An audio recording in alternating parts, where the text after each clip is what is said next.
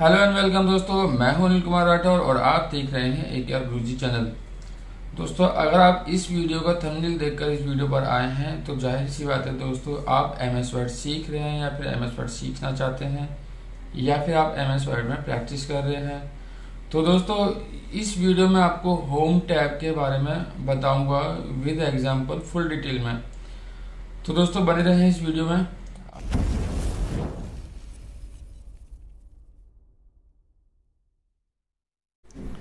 दोस्तों M S word के home tab में अधिकतर जो है हमारी जो है टैक्स की फॉर्मेटिंग के ही ऑप्शन होते हैं। तो पहले हम यहाँ पर एक पैराग्राफ निकाल लेते हैं। एम एस वर्ड में equal R A N D shift के हाथ में ब्रैकेट ओपन ब्रैकेट क्लोज करके जैसे ही हम एंटर करते हैं तो यहाँ पर एक पैराग्राफ हमारे पास निकल कर आता है। तो ये पैराग्राफ हमारे पास प्रैक्टिस के लिए होता है। तो अभी मैंने यहाँ पर जो भी मैटर सिलेक्शन किया होगा सिर्फ़ उतने ही मैटर पर, उतने ही पैराग्राफ पर काम होगा, यहाँ से जो भी हम इस पर अप्लाई करेंगे, वो सब। ओके तो हमने जो मैटर सिलेक्शन कर रखा है, देखो, हम अगर यहाँ पर इसकी राइटिंग चेंज करना चाहते हैं तो यहाँ से हम कोई भी राइटिंग यानी कि फ़ॉन्ट अपने चेंज कर सकते हैं। तो देखिए, जो भी मैटर मैंने सिलेक्शन किया हुआ है, सिर्फ़ उन्हीं फ़ॉन्ट्स के ऊपर, उन्हीं टैक्स के ऊपर ये हमारे जो फ़ॉन्ट हैं, वो अप्लाई होंगे। अब यहाँ से जो भी फ़ॉन्ट मुझे चाहिए, उस फ़ॉन्ट को मैं यहाँ से ढूंढकर और सिंपल बेसिस पर मुझे माउस का लेफ़्ट क्लिक करना है और वो फ़ॉन्ट हमारे सिलेक्टेड टैक्स पर अप्लाई हो जाता है। उसके बाद यहाँ पर फ़ॉन्ट का साइज़ दे रखा है। जो भी साइज़ हमें रिक्वायरमेंट है वो हम यहाँ से चुन सकते हैं और उसको क्लिक करेंगे तो वो साइज़ जो है हमारे फ़ॉन्ट पर अप्लाई हो जाता है। सेम यही काम जो फ़ॉन्ट का साइज़ हमने यहाँ से दिया है अभी, वही सेम काम हम यहाँ से भी कर सकते हैं। यहाँ से फ़ॉन्ट के साइज़ को हम इंक्रीज कर सकते हैं। और यहाँ से हम फ़ोन के साइज़ को डिक्रीज कर सकते हैं। नेक्स्ट हमारा यहाँ पर ये बोल्ड बटन है जो भी मैटर हमने सिलेक्शन किया होगा उसके ऊपर ये बोल्ड बटन अप्लाई होगा जैसे ही हम इस पर क्लिक करते हैं तो देखिए यहाँ पर ये बोल्ड बटन अप्लाई हो गया जो भी टैक्स हमने सेलेक्ट किया हुआ था वो सारा यहाँ पर बोल्ड हो गया यानी थोड़ा सा मोटा हो गया है थिक हो गया है। और वापस इसको हटाना है तो हम यहीं से वापस इस पर क्लिक करेंगे तो फिर से वो बोल्ड बटन जो आ, हट गया वहाँ से। और यहाँ से इटैलिक यहाँ से अंडरलाइन तो जो भी मैटर हमने सिलेक्शन किया होगा उन्हीं सब के ऊपर ये सब अप्लाई होते हैं। और यहाँ से है ये स्ट्रिक थ्रो तो यहाँ पर जो भी लाइन मैंने सिलेक्टेड की हुई है, उसके ऊपर स्ट्रिक थ्रो जैसे हम क्लिक करते हैं, यहाँ पर टैक्स को काटती हुई इस तरह से एक लाइन आती है। और वापस से अगर इसको हटाना है तो हम इसको यहाँ से फिर से क्लिक करके हटा सकते हैं। ओके, दोस्तों, कभी ऐसा होता है, जैसे हम अपने टैक्स में लिखना चाहते हैं। नुमरिक में अगर हम लिखते हैं tenth first second third fourth या टेंथ इलेवन जो भी हम लिखते हैं तो जैसे ही हम लिखने के बाद टेंथ में मैंने टी एच जो लिखा है, लिखने के बाद अगर मैं स्टेज देता हूँ कीबोर्ड से तो ऑटोमेटिक जो हमारा टेंथ जो है वो, टेंथ में जो टी एच है, वो ऑटो एडजस्ट हो जाता है अपने आप। अगर मैं फ़र्स्ट लिखता हूँ तो इसमें देखो एस टी जो है स्पेस देते साथ ही अपने आप एडजस्ट हो जाएगा। अगर मैं सेकंड लिखता हूँ तो इसमें एन डी ऑटोमेटिक अपने आप एडजस्ट हो जाएगा। बट दोस्तों, कभी अगर मैंने जो लिखना है टेंथ, वो इस तरह से लिखना है मुझे। जैसे रोमन में लिखते हैं हम बहुत सी जगह लिखते हैं, बहुत से स्टूडेंट लिखते हैं, अपने टेंथ इलेवन ट्वेल्थ को इस तरह से ही लिखते हैं। तो मैंने टेंथ जो लिखा है वो रोमन में लिखा है। अभी अगर मैं स्पेस देता हूँ तो जो हमारा टी एच जो है वो ऑटो एडजस्ट नहीं होगा। तो उसके लिए हमें यहाँ पर होम टैब में एक ऑप्शन दे रखा है। टी एच को पहले हमें सिलेक्शन करना पड़ेगा। यहाँ से मैंने टी एच को सिलेक्शन किया है। और उसके बाद हम यहाँ से, देखिए ये जो है ऑप्शन सब स्क्रिप्ट जैसे हम इस पर क्लिक करते हैं तो जो हमारा टी एच जो कैरेक्टर सिलेक्शन कर रखे हैं हमने, वो नीचे की साइड में एडजस्ट होंगे और अगर यहाँ क्लिक करते हैं सुपर स्क्रिप्ट कर तो ऊपर की साइड में एडजस्ट हो जाएँगे। अगर इसको हटाना है तो फिर से एक बार क्लिक करते हैं और वापस से रिमूव हो जाता है। ओके नेक्स्ट जो ऑप्शन यहाँ पर दे रखा है, वो है चेंज केस जो भी पैराग्राफ हमने यहाँ पे देखो टाइप किया हुआ है, वो अभी सेंटेंस केस में लिखा हुआ है। सेंटेंस केस का मतलब होता है कि हर सेंटेंस का पहला कैरेक्टर जो होता है वो कैपिटल होता है और उसके बाद के सारे ही कैरेक्टर स्मॉल होते हैं। बट यहाँ से हम चेंज कर सकते हैं। मुझे अगर चाहिए कि सारे ही कैरेक्टर मेरे कैपिटल में हो तो हम यहाँ से अपर केस अप्लाई कर सकते हैं। और अगर हमें चाहिए कि यहाँ से सारे स्मॉल में हो जाए तो हम लोअर केस अप्लाई कर सकते हैं। अगर हमें वापस करना है सेंटेंस केस तो ये सेंटेंस केस का ऑप्शन दे रखा है। नीचे यहाँ पर फोर्थ ऑप्शन है आपका, कैपिटलाइज ईच वर्ड। इसमें हर वर्ड का पहला कैरेक्टर कैपिटल होगा। ये देखिए और बाकी सारे कैरेक्टर स्मॉल होंगे। और लास्ट जो ऑप्शन इसमें टगल केस इसमें जो हमारा हर वर्ड का पहला कैरेक्टर स्मॉल रहता है और बाकी सारे कैरेक्टर कैपिटल रहते हैं। तो जैसा भी हमें टैक्स यहाँ पर अप्लाई करना हो, जैसे भी हमें अपना पैराग्राफ सेट करना हो, हम यहाँ से अपने पैराग्राफ को सेट कर सकते हैं। फ़िलहाल मैं भी इसको वापस सेंटेंस के अप्लाई कर देता हूँ। ओके यहाँ पर है हमारा हाईलाइट कलर कोई भी टैक्स हमने सिलेक्शन कर रखा है, कोई भी पैराग्राफ हमने सिलेक्शन कर रखा है तो उसको हम एक हाईलाइट कलर यहाँ से दे सकते हैं इस तरह से। टैक्स के पीछे बैकग्राउंड में कलर आता है हाईलाइट करने के लिए टैक्स को। और ये होता है हमारा फॉन्ट कलर तो जो भी फॉन्ट हमने सिलेक्शन जो भी टैक्स हमने सिलेक्शन कर रखा होगा उनके फॉन्ट्स को हम इस तरह से कलर दे सकते हैं। ओके यहाँ पर है हमारा क्लियर फॉर्मेटिंग अगर मैंने अपने टैक्स पर कोई भी फॉर्मेटिंग दी हुई है सपोज़ मैंने यहाँ पर जो भी फॉर्मेटिंग दे रखी है, उस फॉर्मेटिंग को मैं यहाँ से हटाना चाहता हूँ रिमूव करना चाहता हूँ, अपने टैक्स को वापस से नॉर्मल करना चाहता हूँ इस तरह से। तो मैंने बस नॉर्मली सिंपल सिलेक्शन किया है अपने टैक्स को और यहाँ से हम जैसे ही क्लिक करते हैं क्लियर फॉर्मेटिंग पर, हमारा जो फॉर्मेटिंग थी वो सारी सारी यहाँ से रिमूव हो जाएगी, हट जाएगी। तो जितना मैटर हमने सिलेक्शन किया होगा, उतने मैटर से हम जो है, यहाँ से फॉर्मेटिंग हटा सकते हैं। दोस्तों, यहाँ पर जो फॉर्मेटिंग क्लियर करने का जो ऑप्शन है, उसमें सारी फॉर्मेटिंग टैक्स पे से हट जाती है बट हमारा जो हाईलाइट कलर हमने जो अप्लाई कर रखा होता है वो यहाँ से क्लियर फॉर्मेटिंग ऑप्शन से नहीं हटता है। अगर हमें हाईलाइट कलर हटाना है यहाँ से तो हाईलाइट कलर हटाने के लिए हमें वापस से हाईलाइट कलर के अंदर ही जाना होगा और वहाँ से हमें करना होगा नो कलर ओके नेक्स्ट जो है हमारा यहाँ पर बुलेट्स तो यहाँ पर जितने भी पैराग्राफ हमने सिलेक्शन करोगे, फ़िलहाल मैंने भी कंट्रोल ए किया है सिलेक्ट ऑल किया है तो यहाँ से हम अपने पैराग्राफ पर यहाँ से बुलेट सेट कर सकते हैं, इस तरह से। तो जो भी बुलेट हमें बेटर लगता है, उस बुलेट पर हम क्लिक करेंगे, वो बुलेट यहाँ पर हमारे सभी पैराग्राफ पर अप्लाई हो जाता है। वापस से इसको हटाना है तो यहीं से ऑप्शन दे रखा है नन का। जैसे हम नन पर क्लिक करते हैं, वो सारे बुलेट्स जो यहाँ से रिमूव हो जाते हैं। ऐसे ही हम यहाँ से नंबर्स अल्फ़ाबेट और ये सब अप्लाई कर सकते हैं। तो जो भी हमें अपने पैराग्राफ के बुलेट्स में सेट करना हो पैराग्राफ को शो करना हो, वो हम यहाँ से अप्लाई कर सकते हैं। ओके फ़िलहाल मैं यहाँ से इसको हटा देता हूँ। अगला जो ऑप्शन है यहाँ पर आ, हमारा जो टैक्स है वो लेफ़्ट साइड से अलाएँगे आ, कभी भी हम नॉर्मल फ़ाइल पर जब टाइप करते हैं तो हमारा जो सारा मैटर है वो लेफ़्ट साइड से ही स्टार्ट होता है। देखिए इस तरह से। ओके तो अभी जो हम चाहते हैं कि सारा मैटर जो हमारा राइट से अलाइन हो जाए तो हमने कंट्रोल ए किया सिलेक्ट ऑल किया और यहाँ से हम टैक्स को राइट में अलाइन कर सकते हैं। ये देखिए वापस मुझे लेफ़्ट में करना है तो लेफ़्ट में कर सकते हैं सेंटर में करना है तो यहाँ से हम सेंटर कर सकते हैं।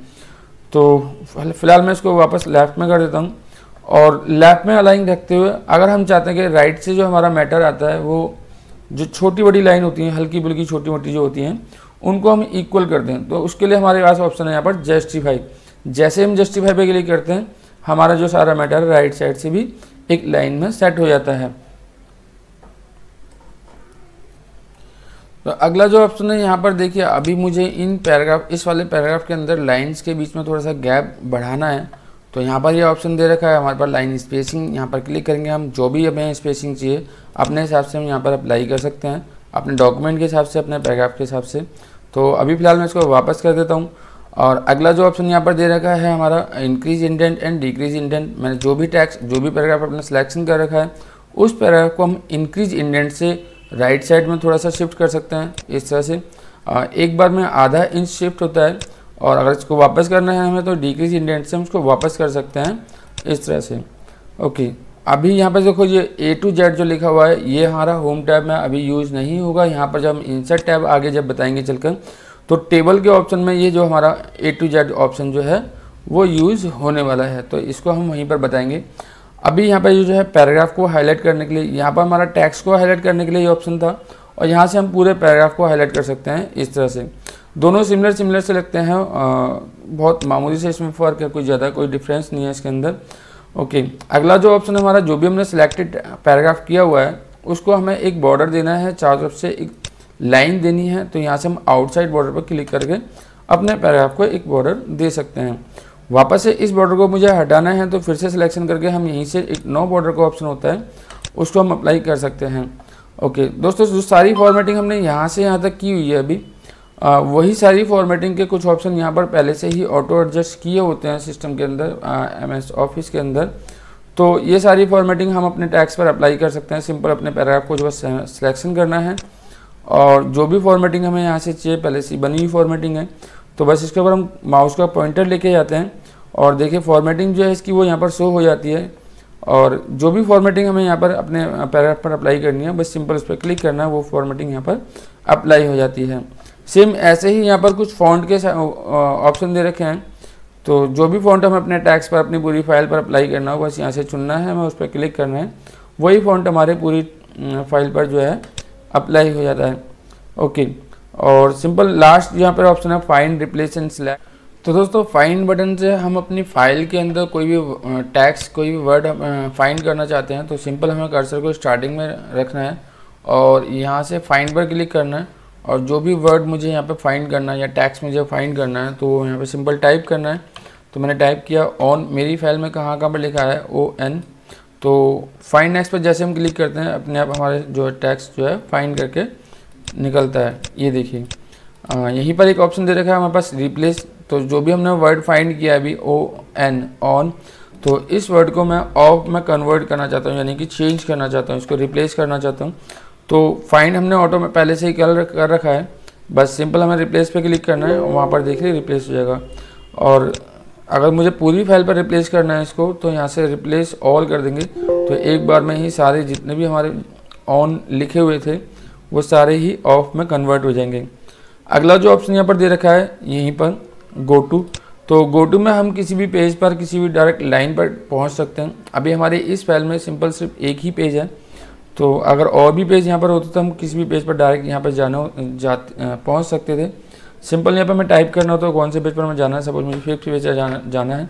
तो गो टू पे क्लिक किया, सीधे फिफ्थ पेज पर पहुँच जाते हैं। बट अभी फ़िलहाल हम यहाँ पर लाइन वाला ऑप्शन चला के देखते हैं।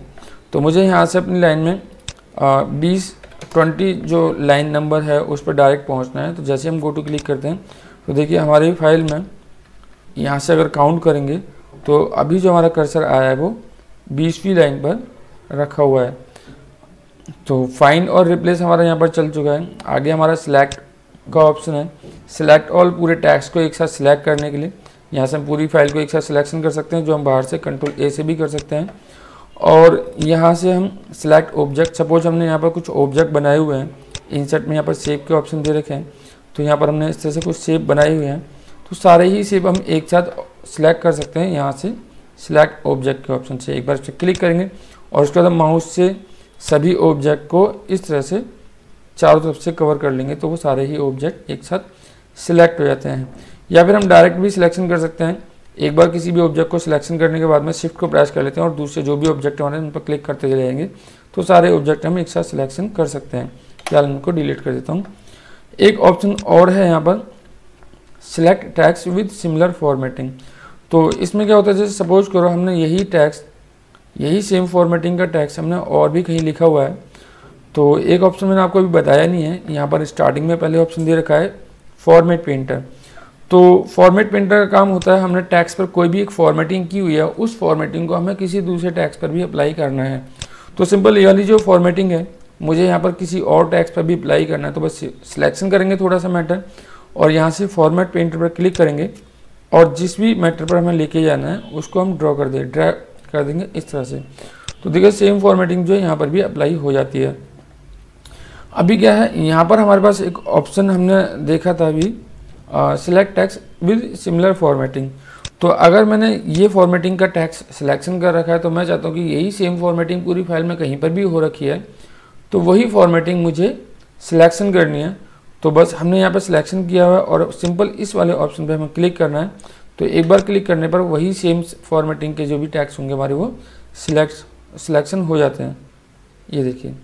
ओके और आगे जो हमारे ऑप्शन यहाँ पर हैं कट कॉपी पेज सिंपल कोई भी मैटर हमने सिलेक्शन कर रखा है तो उस मैटर को हम यहाँ से कट कर सकते हैं और कट करने के बाद हम जहाँ भी लाना चाहते हैं, वहाँ पर हम अपने कर्सर को लेके आएँगे और फिर हम यहाँ से पेज कर सकते हैं। ठीक है? और यहाँ पर है कॉपी तो कॉपी में भी हमें सिलेक्शन करना होता है सिलेक्शन मैंने किया हुआ, किया है और कॉपी पे क्लिक किया कॉपी करने पर मैटर वहाँ से हटता नहीं है। जहाँ है वहीं रहेगा। उसके बाद हम जहाँ भी कर्सर रखेंगे, वहाँ पर हम पेश करके उस कॉपी की हुए मैटर को ला सकते हैं। तो दोस्तों, ये हमारी home tab M S Word का होम टैब है।